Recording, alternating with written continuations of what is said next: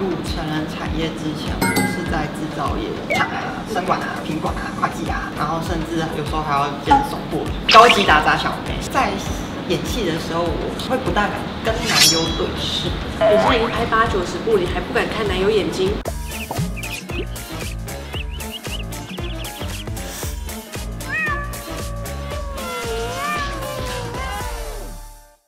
好，这里是思春社，为您解密达人才懂的知识。我是吴梦梦，一个色色的 AV 女优。在开始之前，如果你对大人知识有兴趣，欢迎你按赞、留言、订阅，并且开启小铃铛。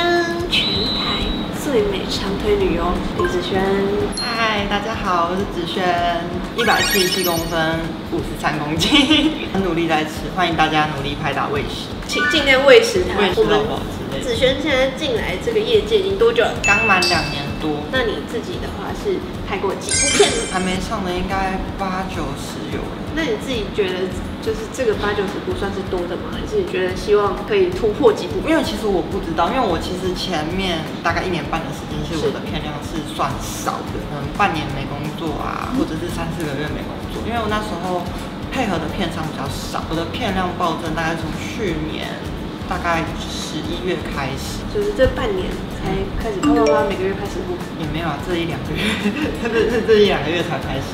然后子轩是热门红牌，可以一个月接到十几部。那你现在就是大部分演的角色是哪些角色？你有什么想要挑战的角色吗？我们这边欢迎跟片商许愿。我的角色，我觉得我还蛮多变的，像我也演过妈妈、姐姐、阿姨，我最近还有女仆萝莉、巨型萝莉。我的朋友都说，那么大只装什么可爱啊？我说为什么大只不能装可爱？我想要拍那种很唯美情欲的那种，就是那种氛围感很好，对。像是女性向的 A B，对，但是我希望可以让男生也投入进去。而不是专注只是插入然后抽插的画面。你还没有进到这个成人产业之前是在做什么工作？大家应该很意外，我在踏入成人产业之前，我是在制造业，工厂吗？对我在工厂待了六年多，在船产能待到六年多，代表你很能吃苦生管啊、品管啊、会计啊，然后甚至有时候还要兼送货，高级打杂小妹。什么都要会。那那样子的薪水是状况比较特殊，虽然我的薪水低，但是就是老板就是会额外给我一些比较多的 bonus，对 bonus，老板跟你有关系吗？类似另外一种办法。如果我有 Sugar Daddy，我绝对什么事都不做，叫他养我，我还不会去制作业做六年。可是我觉得我蛮谢谢他的一点是，如果他没有把我带进去这这个工作的话，我现在对工作的责任感不会那么的强。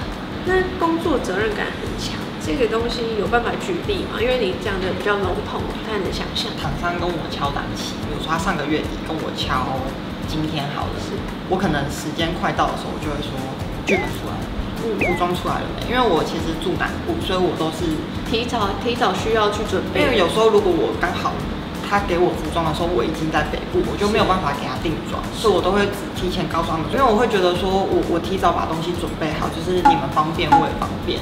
那你怎么会想要从制造业转到跨到成人产业？这个跨度很大。应该说，因为那时候就是，呃，工厂的话就是有一些内部的问题，所以我离开。嗯那我离开之后，我就是兼两份工作，我是先在隐形进门市卖隐贤进，就是日韩的那一种。嗯然后我同时就是又回归直播，直播是哪一种直播？灰色地带的直播，就是起步是依自己决定。经纪公司的老板，他就是有要求我们的经纪们要去开发 A B 旅游。那因为我以前就是喜欢交朋友，所以我的人脉会比较广一点。那我的经纪他就是跟我说，请我拜托我帮忙说，哎，可不可以就是借由我的人脉去找寻找寻旅游的人选。对，那因为那时候其实我是非常缺钱，我就听了一下，我就说，那我可以试试看。不是直播做不好，其实直播认真要做也是可以，但是我觉得以 CP 值来讲，当时的我的状况呀，我直播稳稳的做，但是我还是也需要一份就是比较马上可以高额的薪水。像那个时候就是想要马上赚到一笔快钱，但在拍了八九十部之后，现在你应该拥有更多的选择权去做自己想做的事情。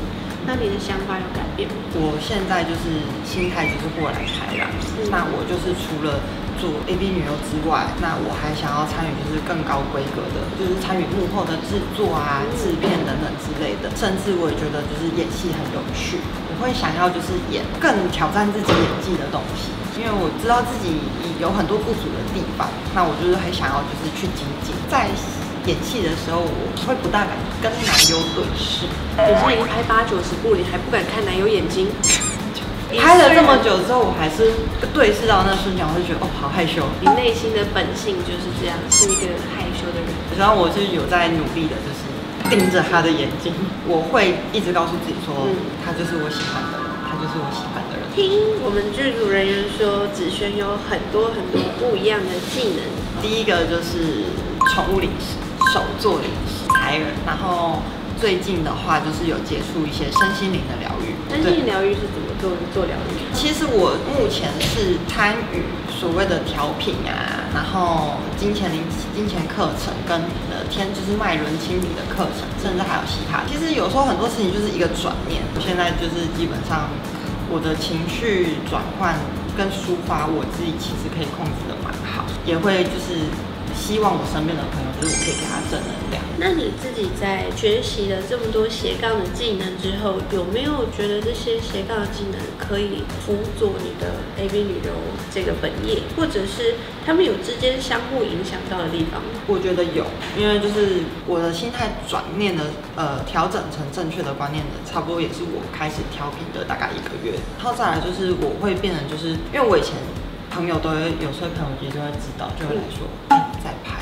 没有，那不是我，是长得很像我而已。然后到现在，我就会很大方的承认说，对啊，那就是我。你已经拍两年了，再否认也来来不及了。对啊，但是我会就就变成说，哎，其实我拍这个，我也是间接的我在帮助别人。我是肉身菩萨，差不多这种这种感觉，我我一直都这么这么觉得。那你在下班之后？有什么样舒压的方式吗？像我的话，我自己过我家的猫狗，我看他们，然后带他们出去遛狗啊，嗯，就会觉得很疗愈。或者是泡澡，我自己蛮喜欢泡澡的，或者去运动之类的等等。我的话就是。如果我们家狗跟猫，然后再来就是我可能真的今天很累，或者是情绪很不好的话，我会把家里面打扫一遍。你什么时候心情不好？你打给我，我去帮你整理家里。有时候就是真的累到不想动的话，我就会点蜡烛。我们这边就有一份蜡烛，这个是方 Sex 的。情趣大麻精油蜡烛，这个是依兰口味，它还有其他是拉大麻自由口味的依兰味的，我比较推荐情侣使用。依兰最著名的疗效就是引起人家的性欲，所以如果你男朋友对你没有什么兴趣的话，你可以点；如果你女朋友对你没什么兴趣的话，你也可以点。通常都是我对男人没有什么兴趣，你才拍 A 片拍两年你就没兴趣，太夸张了吧？我就会觉得说，就已经在拍片，我要维持好自己的状态，就是你不要碰。拍片需求比较大，所以在平常的时候比较少做。我还是会看的，因为如果我跟你讲真的不要，你就不要硬来。但是如果就是那种好啦，不然来一下可以，那就可以。但是不要逼我，真的。如果你是子轩的男伴，建议你买这个，点下去给他闻，就非常非常有质感，它上面有雕花，隔着应该就可以闻到。是一个比较浓烈的催情的欲望，肥皂没有没有，等等燃烧你就知道，太太深入了。我平常都点生物，比较我净化自己。但如果你想要引起其他人的性欲的话，催情催下去。如果你有什么问题想问我，可以在下面留言。如果你要买我们情趣蜡烛，请下方置顶链接。我是吴萌萌，是的，我们在思春社，拜拜，拜拜。